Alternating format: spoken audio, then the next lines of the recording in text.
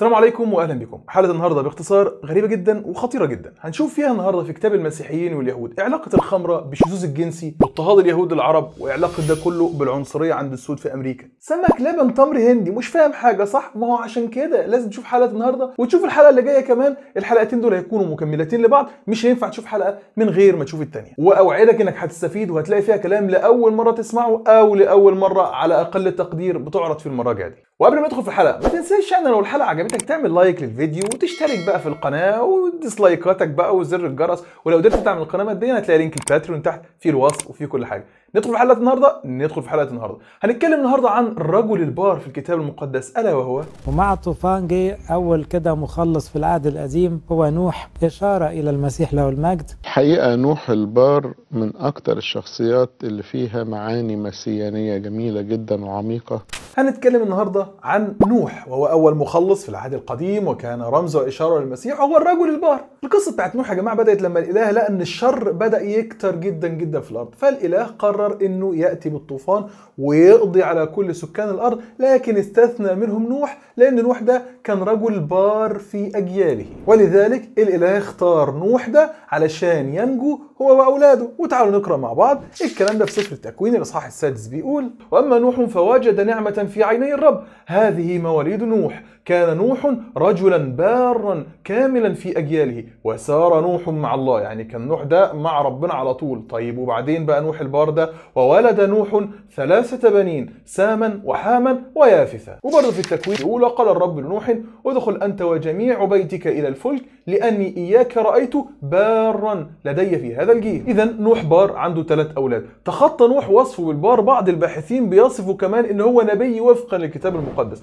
هنلاقي الكلام ده وصفه الباحث مراد مجدي وده باحث رسمي بمدرسة الإسكندرية. عمل كتاب صدر عن كنيسة ماري جرجس في الإسكندرية اسمه رحلة مع النبوة والأنبياء في الكتاب المقدس واللي راجع الكتاب ده وقدم له القمص المفسر تدرس يعقوب مرتي والقس مرقس داود. المهم إن الكتاب ده في صفحة 53 عمل كده عنوان اسمه الأنبياء في العهد القديم ووضع من ضمنهم نوح في صفحة 55 نوح بار قيل عنه نبي عنده ثلاث أولاد سام حام يافث. المهم بعد ما الشر كفر جدا الإله عمل الطوفان نجى نوح وأولاده الثلاثة وأزواجهم وحطهم في الفلك مع الحيوانات وإلى آخره. لكن بعد ما ربنا خلص الطوفان تماما والموضوع المفروض إن هو استقر والإله بقى راضي على الأرض. حصل حاجة غريبة جدا. هنقراها بقى ونخش بقى في عمق الحلقة النهارده. خش في سفر التكوين الاصحاح التاسع. هنلاقي إن نوح بعد ما ربنا نجاه بقى من الطوفان بيقول وكان بنو نوح الذين خرجوا من الفلك ساما وحاما ويافث. دول ثلاث أولاد نوح. وحام اللي هو المفروض ابن نوح الثاني يعني هو أبو كنعان يعني كان عنده ولد اسمه كنعان. بيقول هؤلاء الثلاثة هم بنو نوح.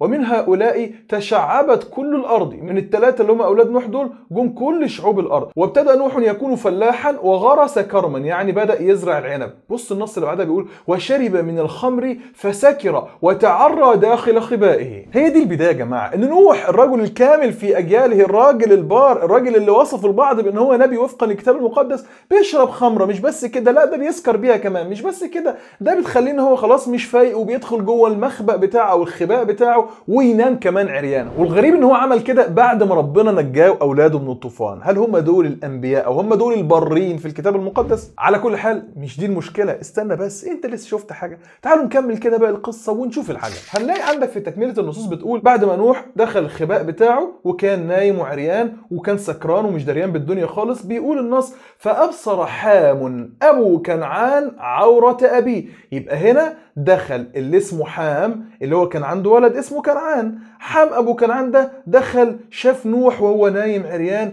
وشاف عورته. وأخبر أخويه خارجا. راح قال لإخواته الحقوا ده أنا شفت أبويا جوه نايم عريان. فترى كان رد فعل أولاد نوح الاثنين الباقيين سام ويافث. عملوا إيه؟ فأخذ سام ويافث الرداء ووضعاه على أكتافهما ومشيا إلى الوراء. وسترا عورة أبيهما ووجههما إلى الوراء. فلم يبصرا عورة أبيهما راحوا غطوا أبوهم من غير ما يشوفوه.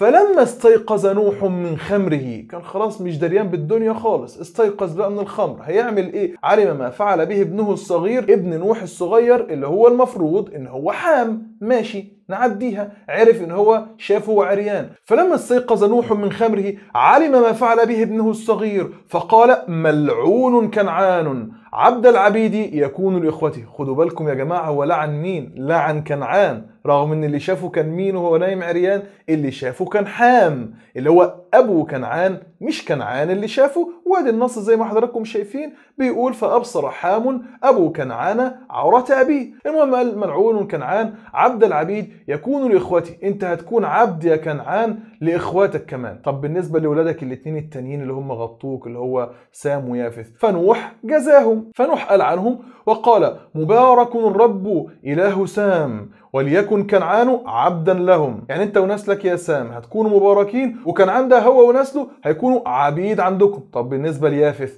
بيقول ليفتح الله ليافث فيسكن في مساكن سام. آه الله مجرد على يافث ده هيفتح عليه وهيخلي سام ده يسكن في مساكن سام. وفي بعض التراجم وفي هيسكن في خيام سام. ما علينا. طب بالنسبة لكنعان بيقول لك وليكن كنعان عبدا لهم يعني برضو كنعان والنسل بتاعه هيكون عبد للنسل بتاع يافث. الله! وده في حاجة غريبة. انت ليه بتلعن كنعان؟ وكنعان ده عمل لك إيه أساسا؟ ابنك حام دخل عليه هو اللي أذاك. أنت شايف إن أنت أصلا نايم عريان وبتاع وسكران وشايف إن ابنك اللي غلطان مفيش مشاكل. خلاص روح إلعن حام. لكن إيه اللي يخليك تروح تلعن كنعان؟ هنا في مصيبة هنا في مشكلة. المفسرين هيحلوا الموضوع ده إزاي؟ تعال نقرأ مع بعض كده شوف تفسير تدرس يعقوب ملطي. بيقول فلما استيقظ نوح من خمره علم ما فعل به ابنه الصغير يرى البعض أن المقصود بابنه الصغير هنا حفيده كنعان بن حام لكن الأرجح أنه حام. وده نفس كلام الارشدياكون نجيب جرجس بيقول يرى البعض أن المقصود بالابن الصغير هو كنعان ابن حام باعتبار أن الحفيد يدعى ابنا في مواضع كثيرة من الكتاب المقدس والأرجح أن الابن الصغير هو حام نفسه. يعني هنا وفقا لكلام المفسرين عشان يخلصوا من الموضوع ده إن حام هو اللي غلطان وفي الآخر ابنه هو اللي شال الموضوع. الله طب وأنا مال أنا؟ أنا عملت لكم إيه؟ أنا راجل يا دوب ابن حام وحام اللي عمل كده. تلعن كلعان ليه؟ فجه بعض المفسرين الآخرين عايزين يخرجوا من المعضلة دي. نخرج منها إزاي؟ نخرج منها إزاي؟ قال لك بس إحنا هنخترع كده قصة ما تعرفش هم جابوها منين أساسا. هتلاقي برضو تدرس يعقوب ملطي بينقل عن أوريجانوس وبيقول يرى العلامة أوريجانوس. أن كنعان رأى عورة جده يعني كنعان ابن حام شاف عورة نوح فأخبر أباه حام. آه راح قال له الحق يا بابا حام ده جده نايم جوه عريان. وقال ابن عزرا أن كنعان هزئ بجده كثيرا. بعد كده بيقول على أي الأحوال يبدو أن حاما وابنه كنعان اشترك في السخرية بنوح. طب نشوف كده أنطونيوس فكري هتلاقيه بيقول نفس الكلام.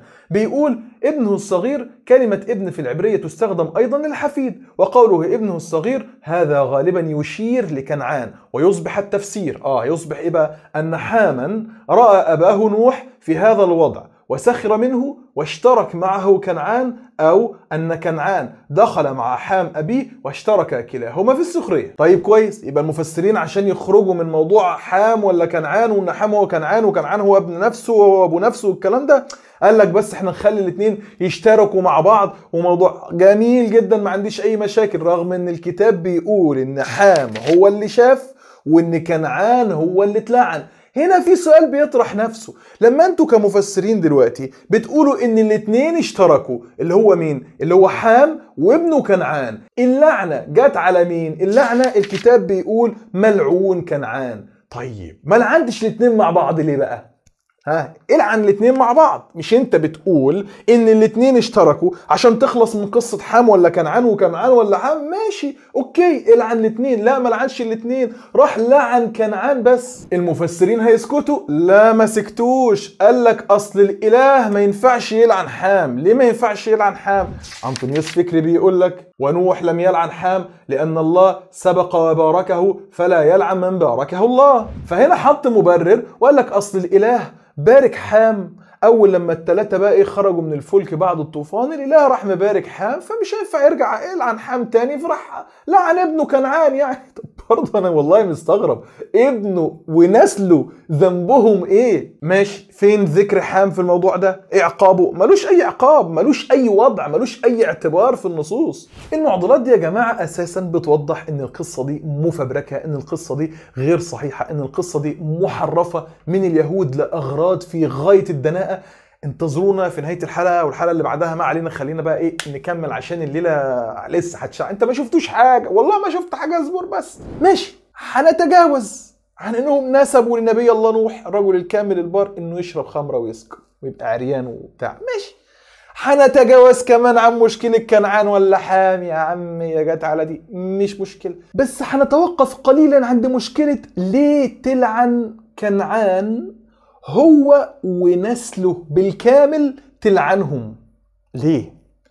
وتخليهم عبيد عند النسل بتاع سام وعند النسل بتاع يافث. وخاصة إن الكتاب بيقول إن التلاتة اللي هم أولاد نوح دول بيقول هؤلاء الثلاثة هم بنو نوح ومن كل هؤلاء تشعبت كل الأرض. فلك أن تتخيل إن واحد من اللي هيجي منهم شعوب الأرض بقى ملعون هو ونسله. يعني تقدر تقول مجازا كده تلت سكان الأرض ملعونين. ماشي. والله لا عديها أنا هقول مجازا تلت سكان وشعوب الأرض ملعونين. بس ملعونين ليه؟ ليه؟ عشان واحد شاف عورة أبوه ولا جده اللي كان شارب خمرة ونايم سكران. يعني بالعقل واحد نايم سكران. نايم في الخيمة. خلاص عريان ماشي نعديها. ده نبي مش مشكلة. دخل حفيده ولا ابنه مش مشكلة نعديها. شافك عريان ماشي. تروح تلعنه هو ونسله وتلعن تلت شعوب الأرض بسبب موضوع زي ده. ليه؟ إيه السبب الكبير جدا المعض اللي هو حاجة واو خرافية تخليك تلعن تلت شعوب الأرض؟ معضلة برضه صح؟ مشكلة. تفتكروا اليهود اللي المسيحيين أخدوا منهم بقى الكلام ده والكتاب ده بكل أخطائه كده. تفتكروا اليهود دول هيسكتوا؟ مش هيحاولوا يلاقوا حل للمعضلة دي؟ وإن سبب اللعنة بتاع تلت شعور ده لازم يكون سبب كبير يا جماعة. لازم يكون سبب حاجة ضخمة كده. نحل الموضوع ده إزاي يا يهود؟ نحل الموضوع ده إزاي؟ لقيناها. إزاي بس يا محمود فهمنا؟ سألتني؟ أجاوبك. بص يا عم اليهود عملوا إيه؟ اليهود قال لك أصل النص بتاع سفر التكوين 9 24 بيقول فلما استيقظ نوح من خمره علم ما فعل ركز علم ما فعل به ابنه الصغير فقال ملعون كنعان. يعني ابنه الصغير ده سواء بقى كان حام ولا كنعان مش هتفرق فعل فعل معين بنوح. عشان كده نوح وقام ولعنه هو ونسله من بعد. طب يا ترى إيه الفعل ده؟ استعدوا بقى للصاعقه اليهود قالوا إيه؟ قال لك إن ابن نوح الصغير بغض النظر سواء كان حام ولا كنعان ما علينا من المعضلة دي دلوقتي بيقول لك إن ابنه الصغير ده لما دخل على النبي نوح الخيمة وهو نايم ولقى سكران ونايم كده وعريان فابنه الصغير ده بقى مستثار جنسيا وراح مارس الشذوذ مع النبي نوح وهو نايم في الخيمة بتاعته عريان وبعد ما مارس معاه الشذوذ خصاه يا جماعة ده اللي بيقوله اليهود وعشان كده النبي نوح قام متعصب ومتضايق لما لقى إن ابنه مارس معاه الشذوذ وكمان خصاه فراح قايم تعالى يا كنعان ملعون أنت يا كنعان والنسل بتاعك يا كنعان وهتكون أنت يا كنعان أنت والنسل بتاعك خدم وعبيد عند النسل بتاع سام وعند النسل بتاع يافث. ده يا جماعة اللي قالوا اليهود عشان يحلوا موضوع المعضلة اللي هو إزاي نوح يلعن تلت شعوب الأرض كده بسبب حاجة زي كده؟ قال لك يا عم خليها بقى إيه؟ أسهل حاجة عندنا الزنا والدعارة. خلي إن نوح ده مورس معاه الشذوذ مش بس كده اخصيه كمان يا عم مش مشكلة. عشان بس نحط سبب منطقي للعن تلت شعوب الأرض. محمود اهدى بس يا باشا انت سخنان علينا ليه كده؟ فين دليلك يا عم على الكلام اللي انت بتقوله؟ الكلام ده مؤلم بصراحة وما يدخلش العقل. فين يعني؟ ودي تفوتني؟ تعالى يا عم نشوف الأدلة. من كتب مسيحية والأهم من كتب مفسري اليهود اللي هم رووا هذه القصة اللي خدها زمايل المسيحيين ونشوف مصادر اليهود اللي هم بيقولوا عليها موحى بها من الله. هنفتح مع بعض التوراة وهنفتح مع بعض التلمود وهنفتح مع بعض التفاسير كلها ونشوف الدنيا ماشية إزاي. وكل تفاسير اليهود والتلمود اللي هقرأ منه هسيب لكم اللينكات بتاعتها تحت في وصف الفيديو. نبدأ على بركة الله نستعرض أدلة نبدأ يا معلم. هنبدأ نسخن مع بعض كده بالنسخة القياسية النقدية UBS اللي هي اختصار ل United Bible Societies أو جمعيات الكتاب المقدس. بتفسر نص التكوين 921 اللي هو نوح لما سكر ودخل نايم عريان والكلام ده. بتقول ولكن هناك سياق يجعل من الواضح أن التعبير يشير إلى زنا المحارم أو إقامة علاقات جنسية مع شخص. برضه محمود لسه ها إحنا بنسخن بنسخن طب تعالوا بقى نشوف الكتاب اللي صادر عن JPS اللي هو اختصار ل Jewish Publication Society يعني جمعية النشر اليهودية الأمريكية وهي أقدم جمعية بتنشر الاعمال والكتابات اليهودية باللغة الإنجليزية. بيفسروا النص بتاع التكوين 9 22 وبيقولوا تنقسم المصادر الحاخامية اللي هي اليهودية بتاعت علماء اليهود حول ما إذا قام حام بإخصاء والده أم ارتكب اللواط. يعني المصادر بتاعتنا والله يا جماعة كيهود مش عارفين حام ده آه، اغتصبوه ولا حام ده يا دوب خصى نوح فقط. فبيقول قد يكون التفسير السابق مدعوما بحقيقة أن نوح ليس لديه أطفال بعد الطوفان. هنا المرجع ده بيقول لك إيه؟ بيقول لك أصل نوح بعد الطوفان ما خلفش. فده يؤكد أن نوح إيه؟ اتخصى. تعالوا بقى نفتح تفاسير اليهود نفسهم ونشوف بقى في التلمود والكلام الجميل ده. هنبدأ مع بعض كده ونشوف أكبر مفسر اليهود الرباي راشي. طب مين راشي ده؟ ده اسمه شلومو إسحاقي هو حاخام فرنسي اتولد سنة 1040 ميلاديا وده يعتبر أب للمفسرين اليهود.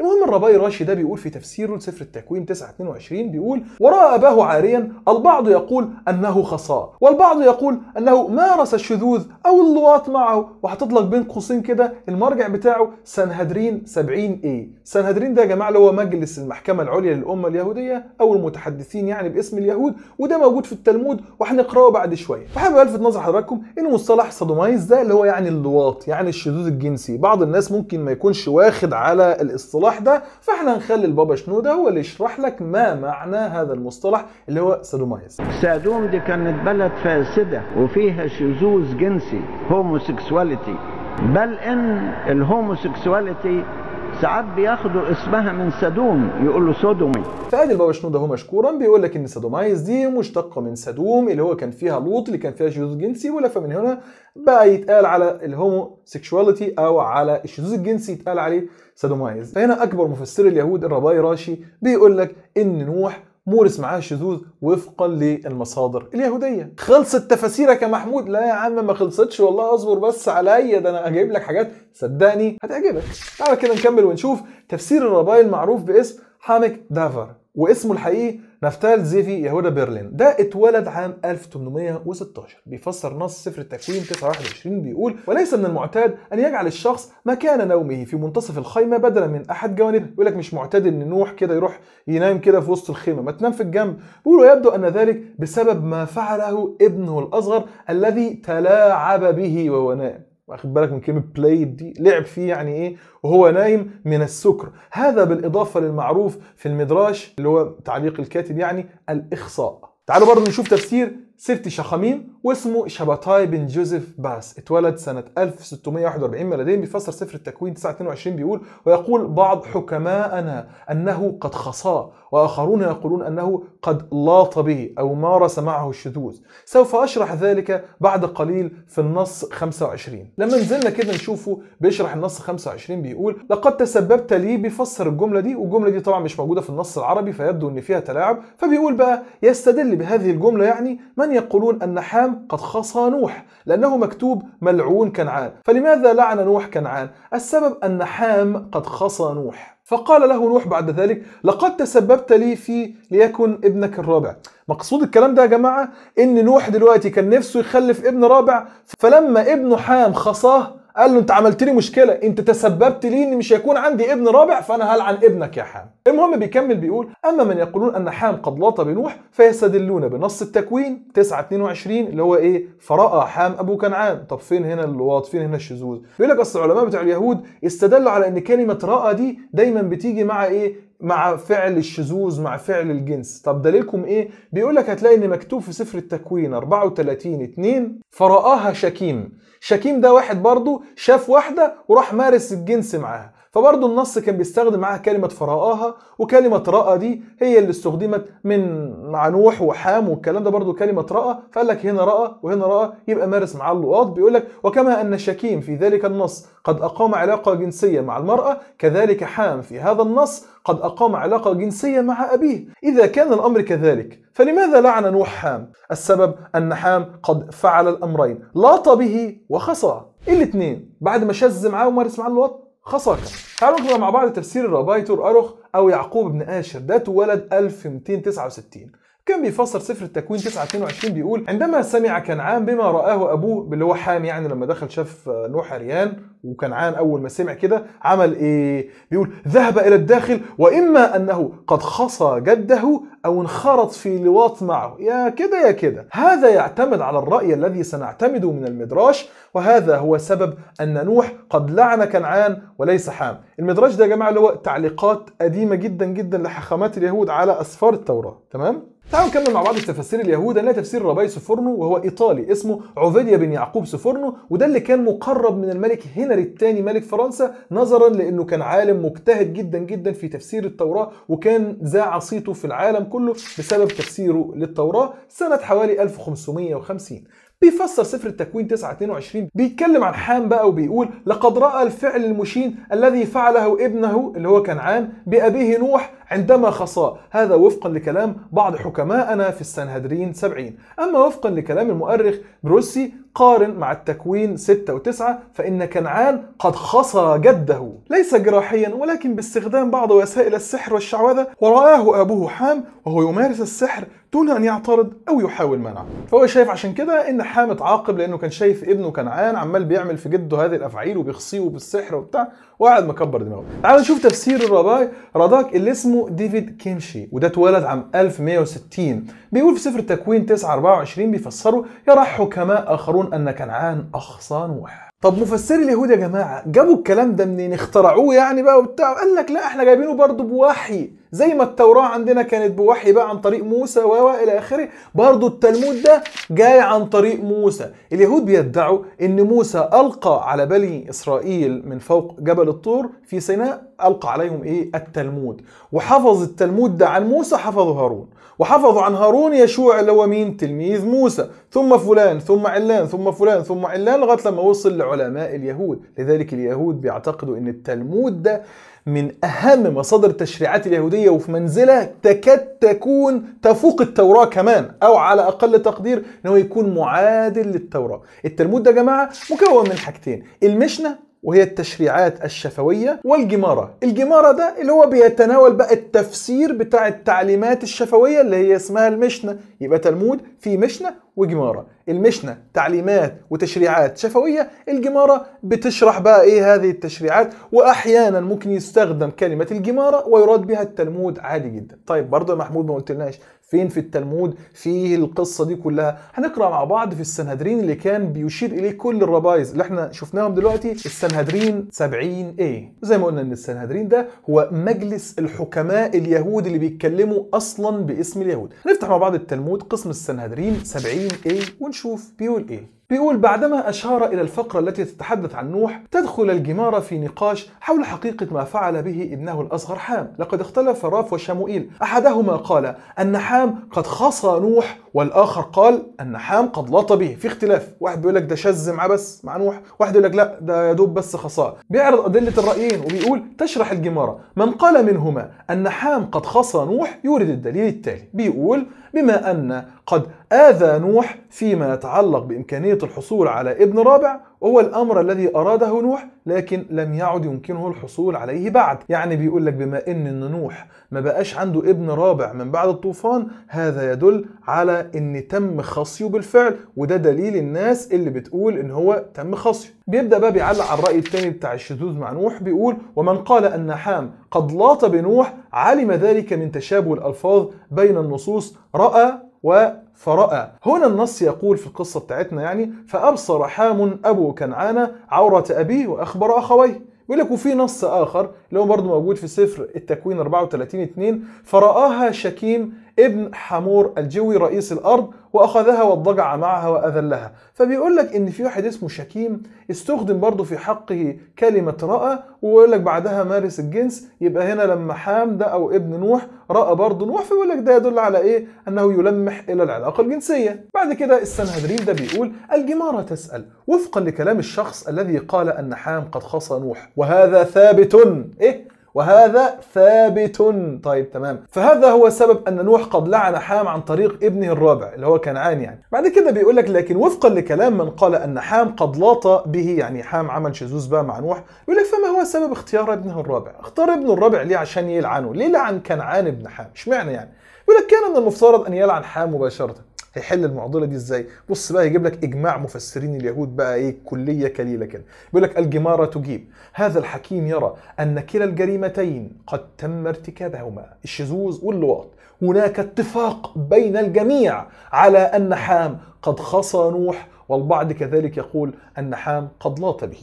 وزي ما حضراتكم شفتوا كتب اليهود اللي المفروض هم بيقولوا إنها موحى بها من الله وجاية عن طريق النبي موسى عشان تحط سبب مقنع للعن تلت سكان الأرض اللي جم المفروض من كنعان ابن حام. قالوا أصل كنعان أو حام أو أي مكان أو الاثنين دخلوا مسكوا نوح مارسوا معاه الشذوذ عياذا بالله وكمان خصوه. وزي ما قلنا إن دي مش كلام اجتهادي ده اعتمد على التلمود اللي المفروض عندهم موحى به من الله. وللأسف زمايل المسيحيين خدوا القصص دي بكل كوارثها من اليهود وعملوا منها كتاب اسمه العهد القديم طمعا في بعض النبوءات التي قد تشير إلى المسيح. قال لك إحنا ناخد العهد القديم. وخدوا الكلام ده بكل ما فيه. وما ينفعش أي واحد مسيحي يتملص من الشذوذ اللي حصل بقى في نوح ولا الخصي اللي حصل له على اعتبار يقول لك أصل ده موجود في التلمود ماليش دعوة. الله.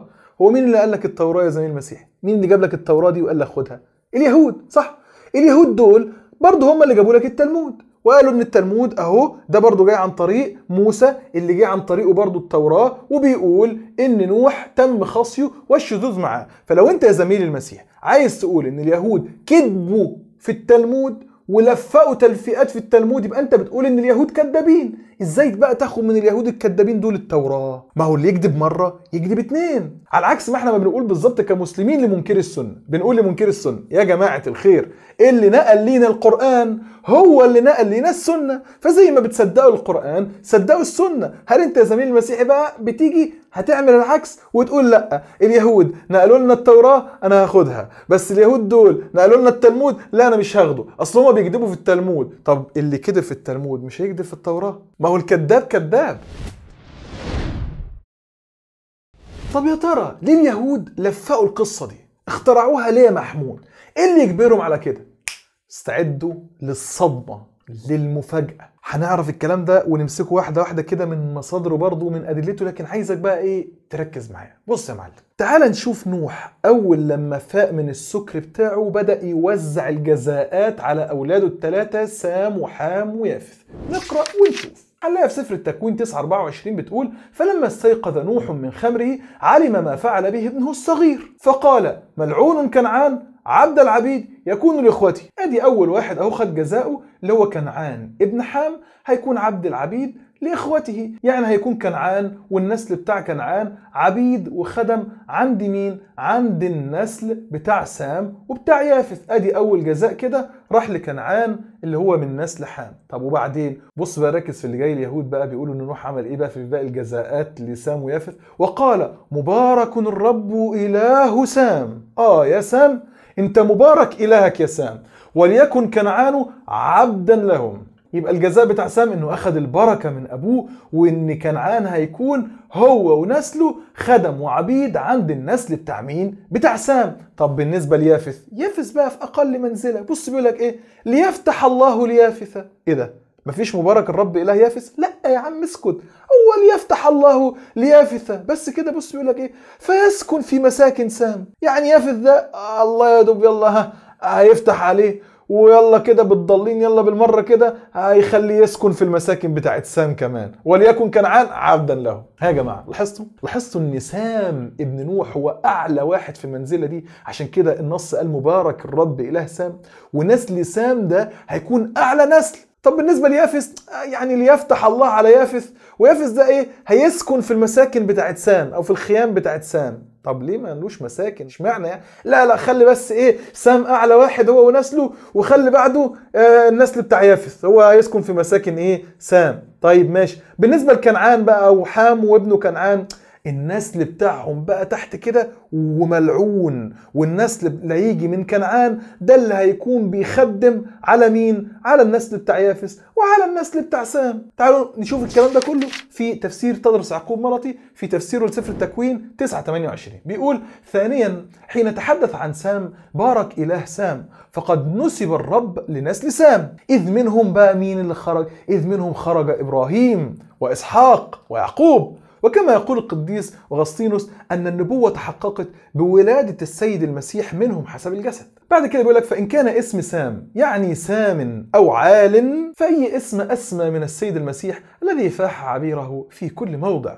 آدي بالنسبة لسام رقم واحد. ماشي. بعد كده بدأ يتكلم على يافث اللي هو أدنى شوية بيقول لك وجاءت النبوة عن يافث والذي يعني توسع أو ملأ أن الله يفتح له فيسكن في مساكن سام. فقد اتسعت مساكن سام اللي هي كنيسة المسيح يعني أي حاجة بيحولوها للرموز ما علينا لتقبل ملء الأمم أي تقبل يافث فيها. يبقى دي الكلام عن سام وأدي الكلام عن يافث. وزي ما هو معلوم من النصوص إن كنعان اللي هو ابن حام هو ونسله عبيد خدم ملعونين. يبقى دي كانت أول معلومة معانا. شفنا ترتيب كل واحد من أولاد نوح وشفنا ترتيب ومقام كل نسل من الثلاثه طيب تعالوا بقى نشوف مين النسل اللي هيجي من سام المبارك اللي هو رقم واحد؟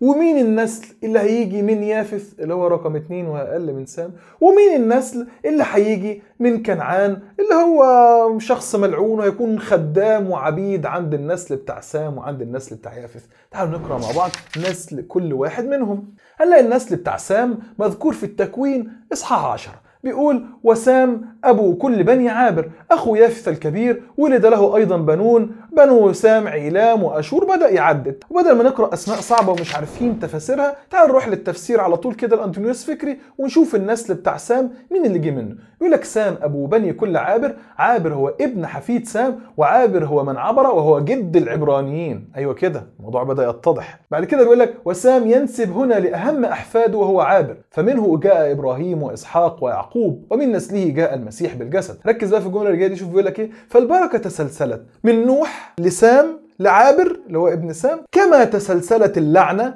من كنعان لأسرته ومن نسل عابر أيضا العرب والاراميين وبعد كده بيلخص الحوار بيقول وبنو سام ومن نسله جاء اليهود والآراميون والآشوريون والعرب وتسمى لغات هؤلاء اللغات السامية. الموضوع بدأ يتضح أهو النسل البريمو رقم واحد. مين اللي جه منه؟ جه منه اليهود والآشوريين والأراميين والعرب. الله ما هو العرب برضه هم محمود جايين من النسل بتاع سام. لا ما انت مش واخد بالك بقى اليهود مش هتعدي عليهم الموضوع ده. يقول لك إن العرب زيهم زينا. العرب دول يا باشا ما لهمش حق أصلا ما لهمش حق في الورث بتاع نسل سام ولا لهم أي علاقة أساسا بسام. ما هو أنت نسيت بقى إن النبي إبراهيم ده مش هو جه من نسل سام؟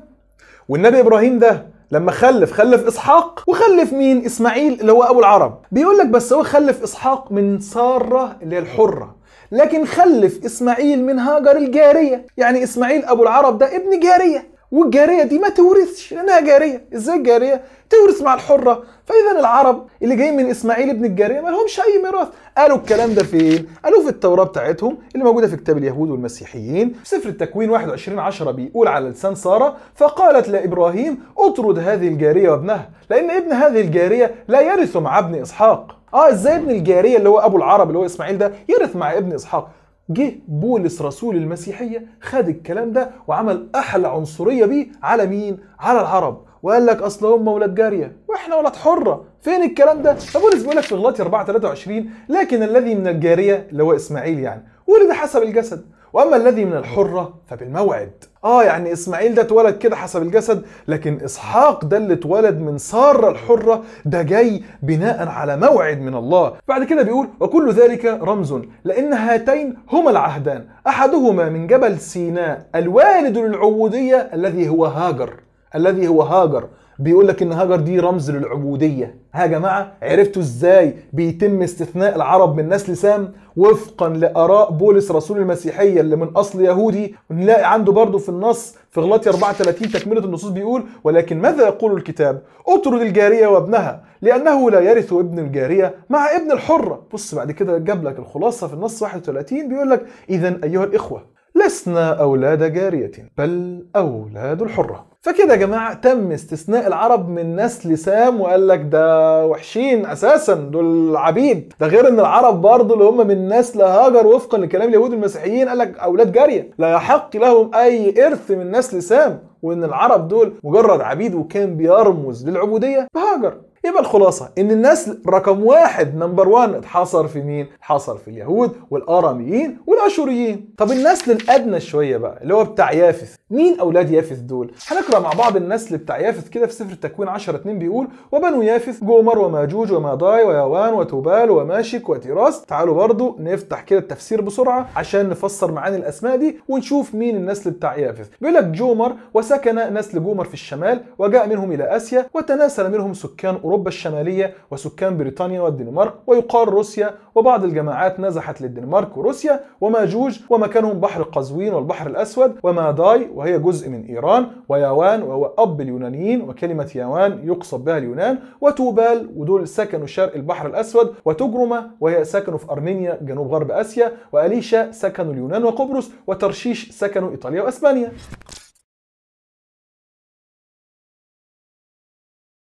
ماشي. يبقى إحنا دي شفنا النسل اللي جه من رقم واحد اللي هو سام وادي النسل رقم اتنين. شفنا جه منه سكان بقى إيطاليا وإسبانيا والدنمارك واللي هم يكونوا إيه؟ تابعين تحت سام اللي هو جه منه النسل اليهودي الممجد اللي هو رقم واحد. وادي النسل الإيطالي والإسباني والأوروبي ده رقم اتنين وهيسكن في مساكن سام ويكون تابع ليه. طب مين بقى النسل اللي هيجي من كنعان؟ اللي هياخد فوق راسه. كنعان اللي هيكون خادم. هو والنسل بتاعه هيكونوا خدامين عند النسل بتاع سام وخدامين وعبيد عند النسل بتاع يافث يا ترى مين اللي هيجي بقى؟ من النسل بتاع كنعان؟ أو هيسكنوا فين؟ فين المساكن بتاعه كنعان وعاشوا فين؟ ومين هم؟ اللي هم الناس الوحشين العبيد الخدامين دول. هنقرأوا مع بعض. النسل بتاع كنعان من سفر التكوين 10 6 بيقول وبنو حام كوش ومصريم وفوط وكنعان وبنو كوش سبأ وحويلة وسبتة ورعمة وسبكتة وبنو رعمة شبأ ودادان وكوش ولد نمرود. ها الملك نمرود الجبار ده الذي ابتدى يكون جبارا في الأرض. ما علينا من الأسماء نخش على التفاسير على طول عشان تلخص لنا الحوار ونشوف مين هم النسل الملعون الخدامين العبيد دول. بيقول لك سبأ منها من سكن جنوب جزيرة العرب.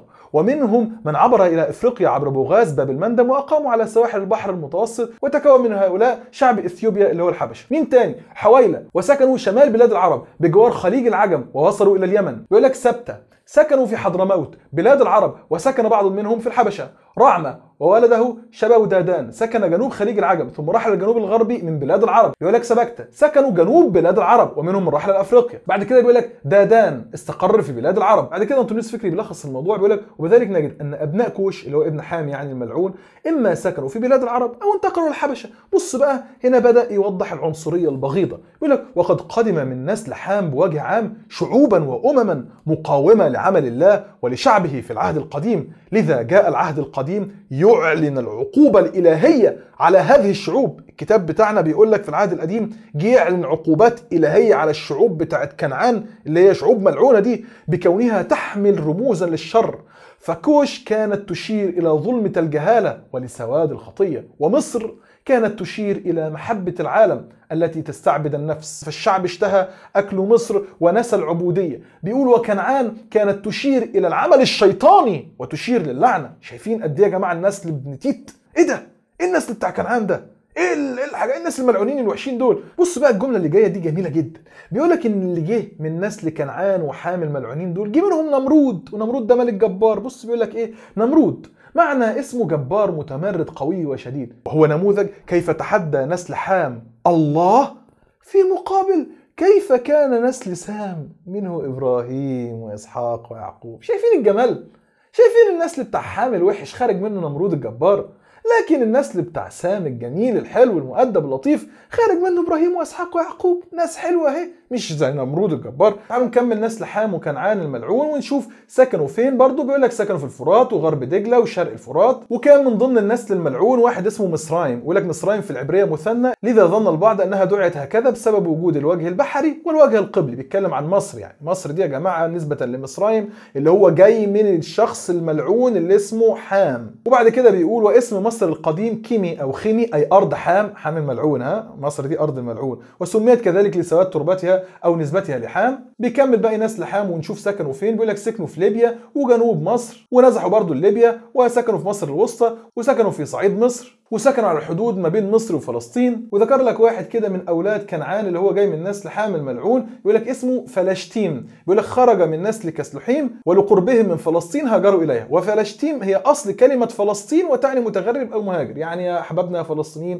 مرحبا بكم في الشعوب الملعونة الشعوب العبيدة الشعوب الخادمة لليهود وفقا للكتاب المقدس. بعد كده بيلخص الموضوع بيقول لك وبذلك اجتمع في فلسطين المهاجرين من نسل كسلحيم اللي هو فلشتيم وكفتوريم. بيقول لك دول مكونين الشعب الفلسطيني. ومن ضمن الشعوب الملعونة برضو راحوا سكنوا في صيدا امتدوا حتى الفرات. وجا منهم كمان واحد اسمه اليبوسي واليبوسي ده بيقول لك الاسم القديم لأورشليم اللي هو بيت المقدس يعني. قبل أن يستولي عليها داوود وسكنوا كمان جنوب أورشليم وسكنوا في بحر الجليل وشمال شرق فلسطين ولبنان وسكنوا كمان في حماة في سوريا. وبكده يا جماعة خلاص اتضحت الرؤية تماما. نسل سام وده النسل اللي جه منه إبراهيم وإسحاق ويعقوب اللي هو نسل بني إسرائيل اللي المسيح جه منهم. طب العرب جم منهم. العرب دول ولاد جارية وحشين كخين مش هيرثوا. طب والنسل رقم اتنين الأقل شوية اللي هو النسل بتاع يافث اللي هم سكنوا بقى في أوروبا أسبانيا وإيطاليا ومش عارف والدنمارك وروسيا وما إلى ذلك اللي هم يكونوا تابعين للنسل السامي اللي جه منه اليهود. طب النسل العبيد الملعونين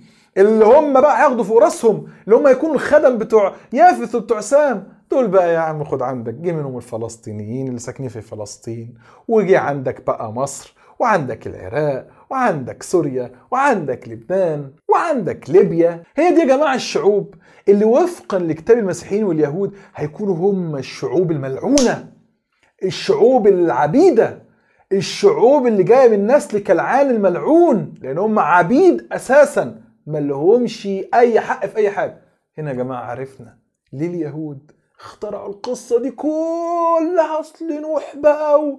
قام وسكران واتشذ فيه واتخصى وبعدين جه حام ومش عارف مين ولا كنعان ونام معاه وخصاه قام لعنه قال له أنت هتكون خدام عند إخواتك عرفتوا القصة دي كلها ليه؟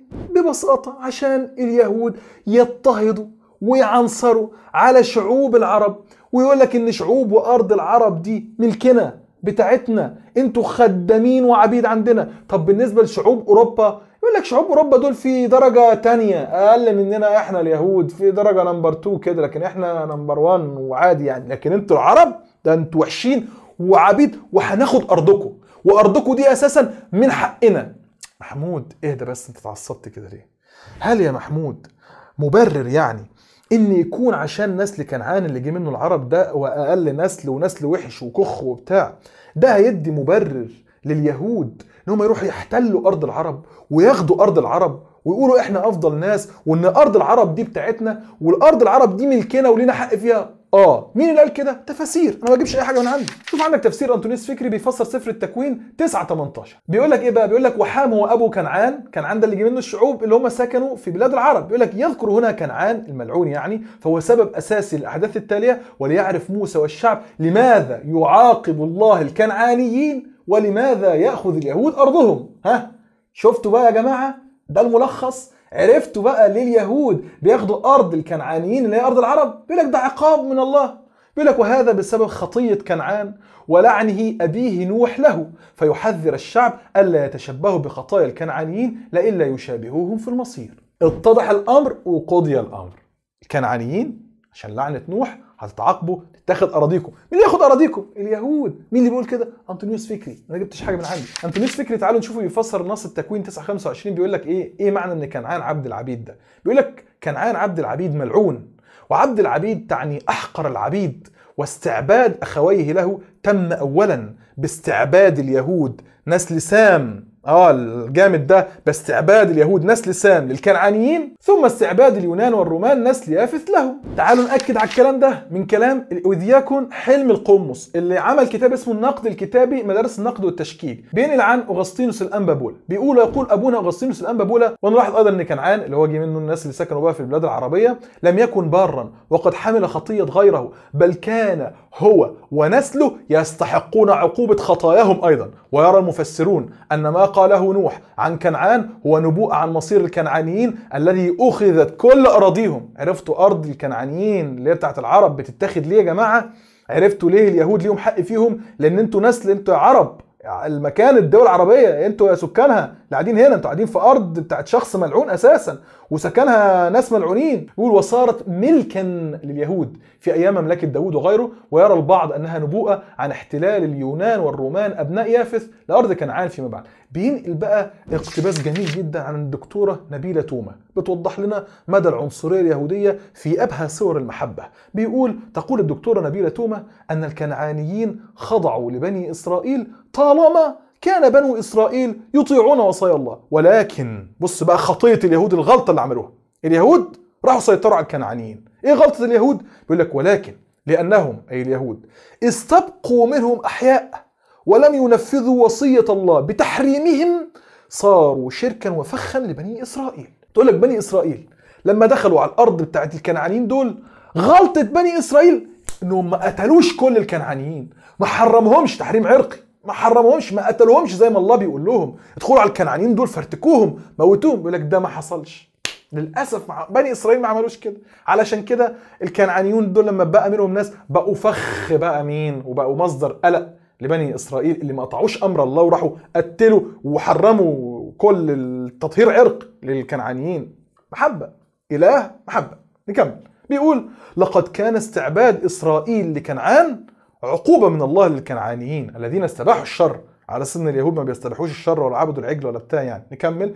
بيقولوا إنما استعباد الكنعانيون لبني إسرائيل فكان من قبيل التأديب الإلهي لشعبي لأنهم خالفوا وصاياه وعبدوا آلهة الكنعانيين. يعني الإله لما جه عاقب اليهود عاقبهم عشان راحوا عبدوا آلهة الكنعانيين. خلى الكنعانيين يسيطروا على اليهود شوية صغيرة والموضوع انتهى يعني. تأديب إلهي عقاب عتاب محبة كده. وعشان بقى يا جماعة الأرض اللي سكن فيها أولاد حام الملعونين بقى وكنعان والكلام ده اللي هم وحشين كل حد من بني إسرائيل يجي وفقا للكتاب المقدس التوراة يروح يعمل لهم غزوات. آه غزوات زي ما بقول لك كده باللفظ. اقرأ معايا في قاموس الكتاب المقدس أو دايرة معايا في كتابيه تحت عنوان يشوع النبي. بتقول وبعد أن رسخت قدماه في البلاد التي احتلها قام بغزوتين. عمل غزوتين اهو قام بغزوتين لاحتلال كنعان كلها. وفي أثناء هذه الحملة أمر يشوع الشمس بالوقوف فوقفت. يعني الأمر ما كانش مقتصر على أيام نوح فقط. لا ده حتى لغاية موسى وتلميذ موسى كمان اللي هو يشوع عمل غزوتين على أرض كنعان ومش بس كده ده عمل معجزة. قال للشمس وقفي فوقفت يعني كان بمساعدة الإله كمان. عندك حاجة تانية بتقول كده يا محمود؟ أيوة تفاسير اليهود وبتقول لك صراحة مفاجأة.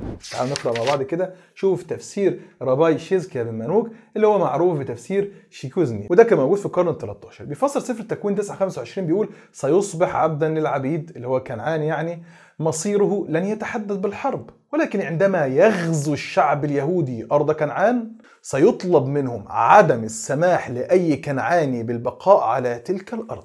تطهير عرقي لنسل كنعان اللي سكن في البلاد العربية. تعالوا دلوقتي نشوف كتاب JPS اللي يعتبر من أهم المراجع اللي بتتكلم عن اليهود واعتقادهم اللي هي اختصارا ل Jewish Publication نشوف بيقول في تفسير اللاويين مش التكوين ها اللاويين 20 عدد 24 بيقول يجب أن تمتلك أرضهم. ينتمي إلى الفعل العبري يرش أي امتلاك. إلى المفردات القديمة التي تعبر ركز عن الحقوق الجماعية للإسرائيليين في أرض كنعان. وهكذا خصص الله أرض كنعان لشعب إسرائيل ليمتلكها. تاني وهكذا خصص الله أرض كنعان اللي هي الأرض بتاعت الشعوب العربية لشعب إسرائيل ليمتلكها. عايزين حاجة أكبر من كده؟ نلخص بقى الليلة كلها مرجع واحد. UBS اللي هو United Bible Society اللي هو جمعيات الكتاب المقدس المتحدة الصادر في أمريكا. قالتها بالمفتشر كده. قالت إيه بالمفتشر؟ بص عندك بيفسروا سفر التكوين 9 25 بيقول يقترح آخرون أن الغرض من هذه الآيات الآيات اللي هي بتاعت قصة نوح بقى والشذوذ والخصي واللعن والكلام ده. الغرض بقى إيه؟ هو وضع الأساس للصراع اللاحق. بين نسل سام بين قوسين الإسرائيليين وأحفاد كنعان الكنعانيين في الاستيلاء على أرض الميعاد. قال لك القصة بتاعت نوح دي هي اللي وضعت الأساس. ليه اللي جايين من نسل سام اللي هم الإسرائيليين في صراعهم مع أحفاد كنعان على أرض الميعاد. كل ده استنادا للكتاب المقدس اللي بيؤمن بيه زمايلي المسيحيين اللي خدوه من اليهود. عرفتوا يا جماعة ليه اليهود عملوا الحدوتة والقصة دي كلها؟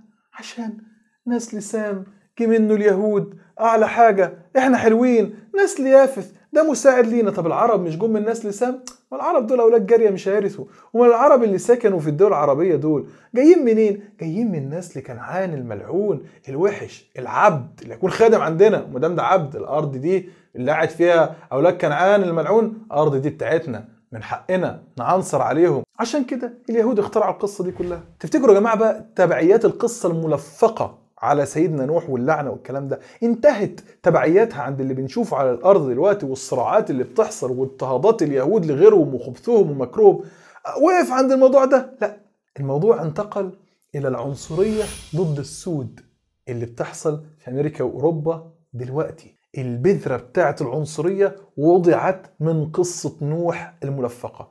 إزاي؟ ده اللي هتشوفه الحلقة اللي جاية. حلقة تكون في غاية غاية غاية الخطورة والأهمية. لازم تستناها ولازم برضو ما تنساش إنك تشترك في الصفحة. لو الحلقة عجبتك تعمل like وتعمل dislike لو ما عجبتكش. وتفعل زر الجرس. عندك برضو في التعليقات وفي وصف الفيديو link ال Patreon لو تقدر تدعم القناة ماليا. وما تنسناش برضو من دعائك حلقة طويلة. معلش أنا آسف لكن إن شاء الله لن تعدموا منها فائدة ولا من الحلقة القادمة. أترككم وألقاكم في أمان الله. والسلام عليكم ورحمة الله وبركاته.